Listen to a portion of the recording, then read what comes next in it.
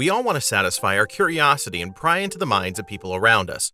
What is the truth behind their wet, fluttering eyes, behind their subtle facial expressions, which we aren't quite sure how to read? At first, telepathy is a parlor trick. You amuse yourself and others by reading their minds. You feel for the first time in your life godlike. But then you want to know more. How to do the most important people really feel about you? What secrets have they been keeping about your relationship, about their past? But that's a slippery slope we don't always want to go down. Our society, like every society on Earth, is built on lies. Some of them small, some of them significant. We lie to one another. We lie to ourselves. It's not always a bad thing. Some people would even call it necessary for civilization to function properly and advance. In family, in love, and work, lies are an everyday occurrence that helps humankind get along. Even animals lie to one another in that green home space of the wild. Undercovering the truth of our wild is a painful process.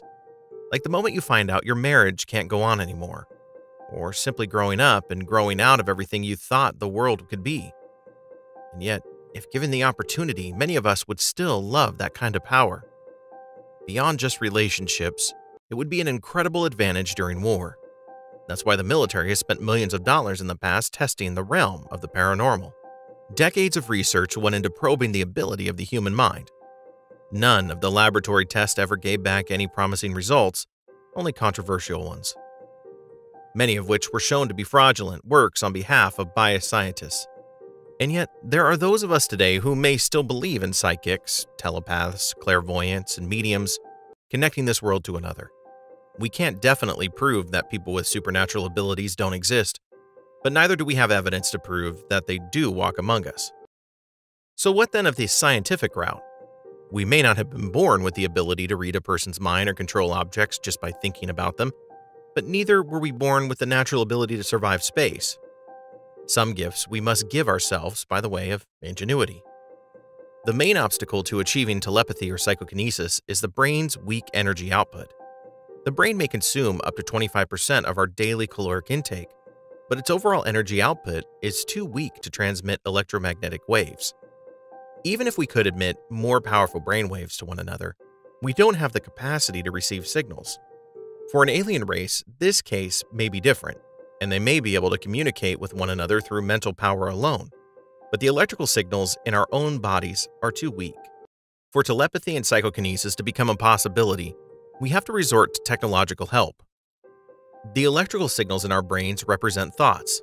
Activity here can be mapped out using procedures like EEG and MRI scans, both of which may someday be used as a much more reliable method of lie detection.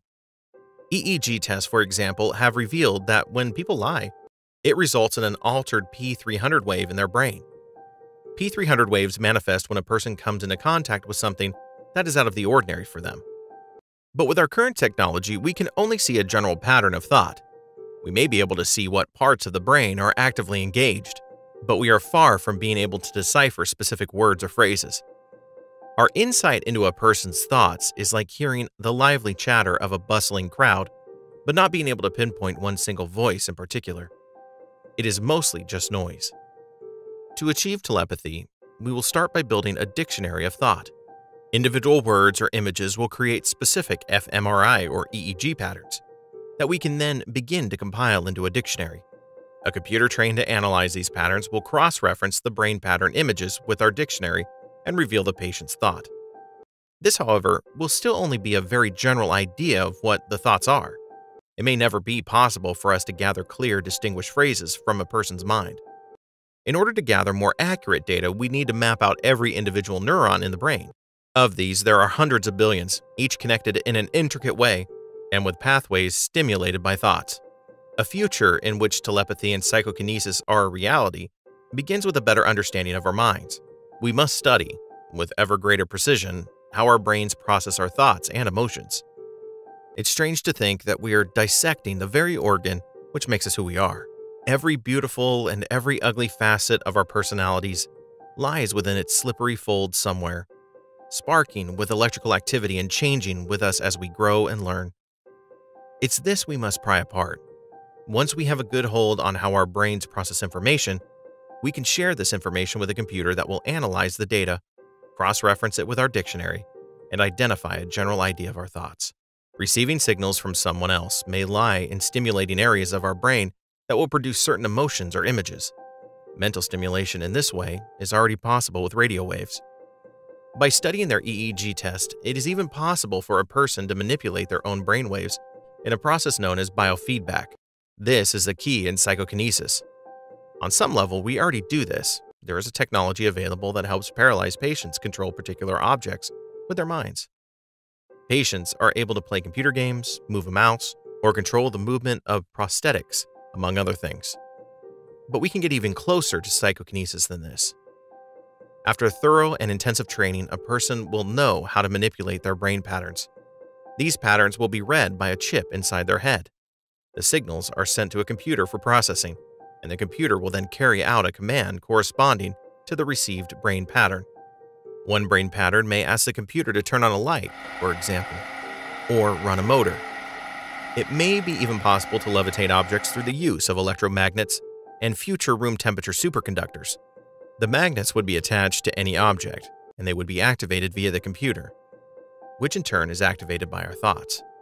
While all of us may want to accomplish feats such as lifting a car or setting an entire building on fire in an angry, bloody act of revenge, these examples violate the law of conservation of energy. A human body does not output enough energy to accomplish these things without help. But even if we are able to conjure these paranormal abilities by way of our technology, will we want to? To invent telepathy is to invent a power held only by the gods. It is to expose that which has only been private to us dreams, secrets, prayers, like stripping down to something even more vulnerable than pure nakedness. As pointed out by physicist Michio Kaku, with godlike powers should come godlike wisdom and reasoning, neither of which we have.